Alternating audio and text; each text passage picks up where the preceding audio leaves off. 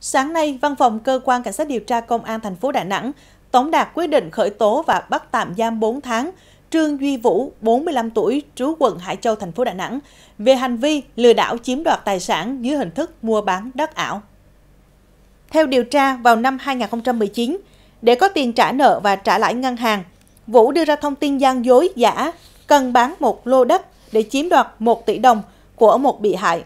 Sau khi nhận tiền, Trương Duy Vũ cao chạy xa bay, cắt đứt mọi liên lạc với bị hại. Qua xác minh, công an xác định lô đất Vũ bán cho bị hại đã bị thế chấp ngân hàng và bán cho nhiều người khác. Sau thời gian lẫn trốn, công an đã mời Vũ lên làm việc.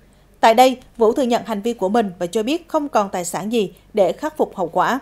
Cơ quan cảnh sát điều tra công an thành phố Đà Nẵng đang tiếp tục làm việc với các bị hại, củng cố hồ sơ để xử lý Trương Duy Vũ theo quy định của pháp luật.